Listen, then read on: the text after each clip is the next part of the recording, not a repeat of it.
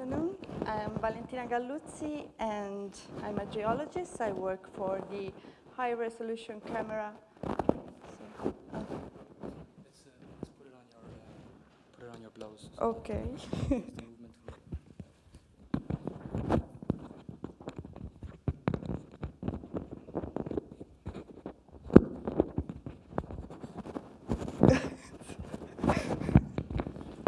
it's stuck. Oh, here it is. Okay. Excellent. Okay. So, uh, I work for the um, high resolution camera part of the SIMBIO-SYS instrument on board BepiColombo uh, spacecraft. So, uh, today I will speak here about the importance of geological mapping for future targeting choices. This is the SIMBIO-SYS team of geologists. we all work on geological mapping of Mercury based on the data available now. It means Messenger data, Mariner 10 data, in order to decide future targets for the BepiColombo mission and in particular for the SIMBIO-SYS instrument. So, geological mapping on a planet is important. Uh, of course, on Earth, we know why, because we have a lot of natural hazards and so on, but on a planet, we do it for future purposes. And planetary geological mapping is the result of photo interpretation. It means that we have to observe the available da- data, interpret the available data, draw in the lines, and compare the lines with other kind of data sets, and then rethink on what we did wrong, what we did right, and change our ideas continuously. So this is a loop, a cycle that we make several times, but how many times? well, of course, it means uh, it depends on experience, but most of all, it depends on the available data sets, the quality of uh, available data sets, uh, for example, so data sets uh, resolution. So what is certain is that the more loops you make and the more you know and gain a deepened knowledge of the planet's surface. So knowing the planet's surface means that you are aware of the future needs and the targets that the spacecraft will need. So Mercury, since SIMBIO-SYS will be the eyes of Bepi, Colombo, we must know Mercury like the back of our hand. So Mercury uh, has a lot of targets that are interesting. For example, folds, kinematic markers, hollows, bends. All these targets have, uh, there are several factors influencing target study. Uh, for example, illumination direction, image resolution, area coverage, kind of data sets that we are looking at. So, but every kind of target has its own priorities. It means that if I'm concentrated on folds, for example, illumination direction is very important.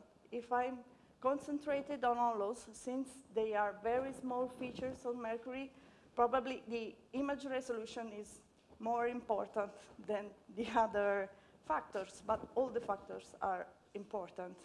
So it is important to divide uh, targets into thematic fields in order to estimate the priorities for each kind of target.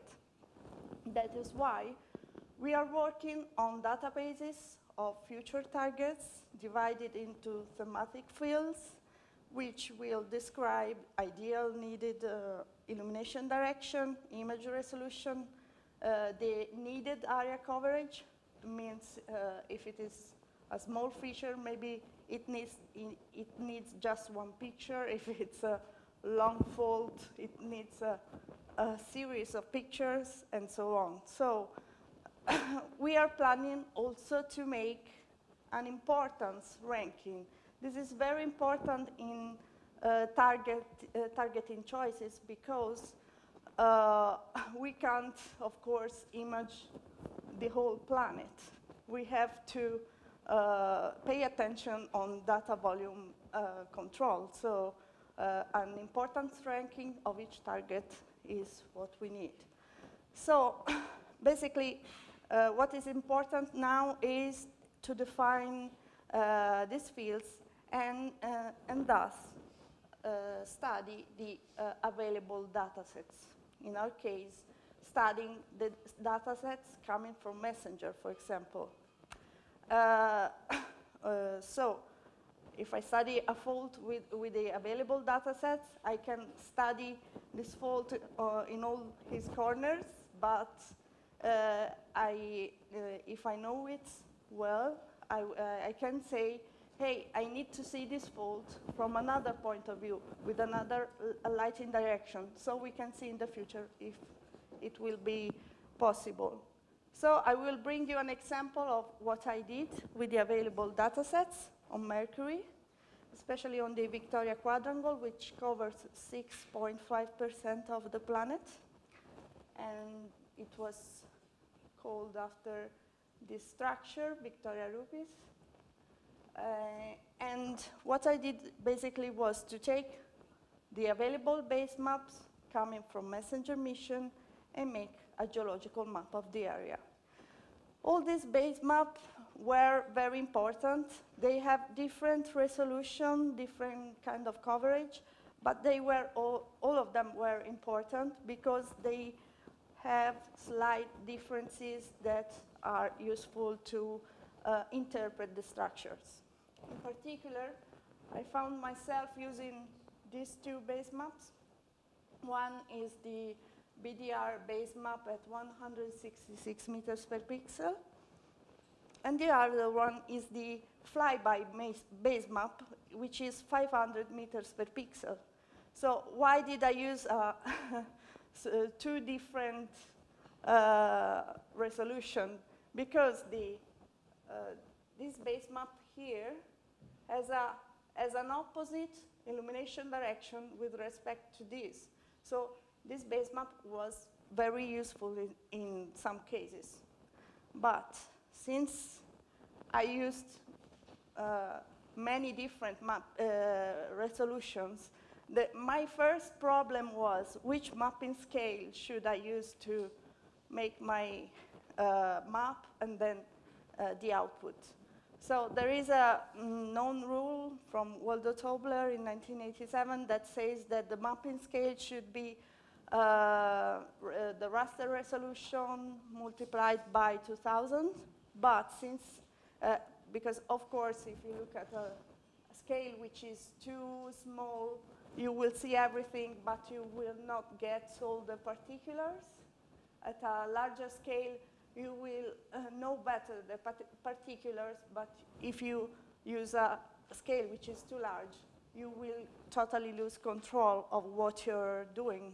So it is important to follow rules, but since I had many different resolutions, I had to choose an intermediate resolution, uh, let's say a fake resolution, because all the quadrangles that I used uh, were, were important. So I consider a 300 meters per pixel resolution and calculating thus a mapping scale uh, of uh, 600,000. Uh, by following USGS rules, uh, which say that uh, your mapping scale should be two times to five times larger than the output scale, I made the uh, inverse calculation. So uh, by mapping at a scale of 600,000, I could have an output of 1.2 million to 3 million scale. I decided to use the 3 million scale because mapping at five times larger than the output makes a cleaner output of the lines. The lines uh, seems much smoother, so I decided to, for, to go for this uh, resolution. So, as I told you before, even if I had a uh, 166 meters per pixel base map. It actually uh, shows some flows. It is not uh, the same everywhere. In here we have two long shadows, some missing tiles, and in here we have uh, no shadows at all. So uh, there are some, some problems that sometimes I had to uh, avoid using the USGS ISIS3 software, making mosaics to cover these gaps. So even topography was important because we have available both the topography coming from the laser altimeter and topography coming from a stereo, uh, stereo imaging. So uh, the stereo topography has a much lower resolution. It is one kilometer per pixel. But actually, it was very useful because if you consider Messenger uh, MLA tracks, they are very widely spaced to the south. So it means that if you use MLA, which is very precise on the spot, but has to calculate the topography in between the lines, you won't get much information from this. So stereotopography is prob uh, probably less precise on the spot, but it's more complete. So uh, that's why uh, I use it a lot. So this is the final line work. I mapped craters uh, larger than five kilometers, and I mapped also crater materials for craters larger than uh, 20 kilometers. There are actually more than 1,800 craters over here. Uh, then I uh, mapped the geological contacts, structures, and so on. And this is the final output. I choose random colors because actually there, are, there is no uh, rule yet for the colors. And if you're interested in the scientific results, I'll, I'll be doing a seminar on Friday. So uh, I want to speak about an example target. Uh, I, I made a method to calculate fault slip data uh, using faulted craters.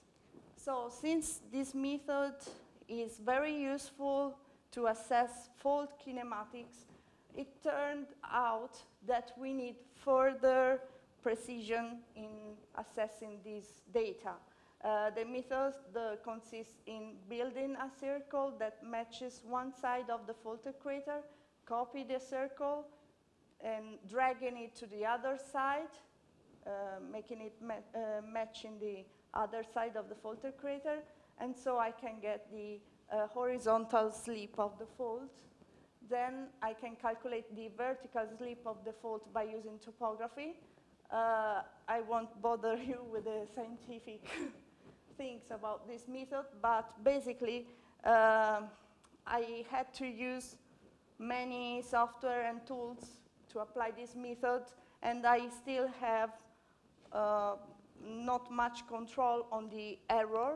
So having a tool that helps uh, us controlling uh, where do, uh, you put the circles, for example, uh, uh, measuring how many uh, several tries of putting the circles uh, would help us in, um, in, controlling the error on the measure.